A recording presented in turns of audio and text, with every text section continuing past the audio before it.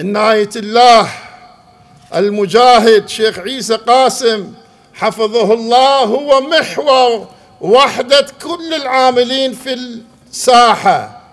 ونسأل الله تبارك وتعالى أن يحفظه ويسدد خطاه ويرجعه إلى البلد سالما غانما.